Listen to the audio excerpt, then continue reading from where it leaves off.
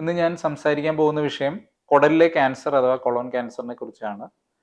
അപ്പോൾ ഇന്ത്യയിൽ പുരുഷന്മാരിൽ അഞ്ചാമത്തതും സ്ത്രീകളിൽ നാലാമത്തതുമായിട്ടുള്ള ക്യാൻസറാണ് കുടലിലെ ക്യാൻസർ ഇതിന്റെ പ്രധാന ലക്ഷണങ്ങൾ എന്ന് പറയുകയാണെങ്കിൽ മലം പോകാനുള്ള കാലതാമസം ചിലപ്പോൾ മലം പേസ്റ്റ് ആയിട്ട് പോവുക അല്ലെങ്കിൽ മലത്തിന്റെ കൂടെ രക്തത്തിന്റെ അംശം കാണുക.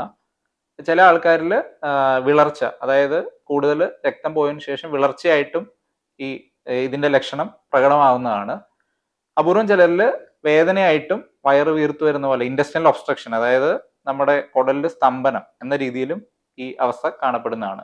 ഇത് നമുക്ക് കണ്ടുപിടിക്കാൻ വേണ്ടി ഒന്ന് രക്തപരിശോധനയും രണ്ടാമത്തത് പ്രധാനപ്പെട്ടതുമായിട്ടുള്ള ടെസ്റ്റാണ് കൊളനോസ്കോപ്പി കൊളനോസ്കോപ്പി എന്ന് വെച്ചാൽ ഒരു ട്യൂബ് ഉണ്ട് ട്യൂബിന്റെ അറ്റത്ത് ഒരു ക്യാമറയുണ്ട് അതുവഴി നമ്മുടെ മലാശയം വൻകുടൽ മുതലായ സാധനങ്ങൾ നമ്മൾ നോക്കുന്നതാണ്.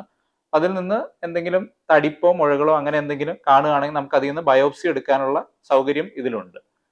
അങ്ങനെ നമുക്ക് കൊളോണോസ്കോപ്പിയും രക്തപരിശോധനയും സി ടി സ്കാൻ ഒക്കെ വെച്ചിട്ട് നമുക്ക് രോഗം നിർണയിക്കാൻ പറ്റും. പിന്നെ ഇതിന്റെ പ്രധാനപ്പെട്ട ചികിത്സ എന്ന് പറയുന്നത് സർജറിയാണ് ആ ഭാഗം നമ്മൾ മുറിച്ച് മാറ്റുക എന്നുള്ളതാണ്. ഒരു ചെറിയ ശതമാനം രോഗികളിൽ സർജറിക്ക് ശേഷം കീമോയോ അല്ലെ സർജറിക്ക് മുമ്പ് റേഡിയേഷനോ മറ്റോ എടുക്കേണ്ടതായിട്ടും ആവശ്യം വരാറുണ്ട് ഈ അസുഖത്തിന്റെ ഭാഗമായിട്ട്. എന്നിരുന്നാലും നേരത്തെ കണ്ടുപിടിക്കുകയാണെങ്കിൽ നല്ലൊരു പ്രോഗ്നോസിസ് ഉള്ള ഒരു അസുഖമാണ് കുടലിലെ ക്യാൻസർ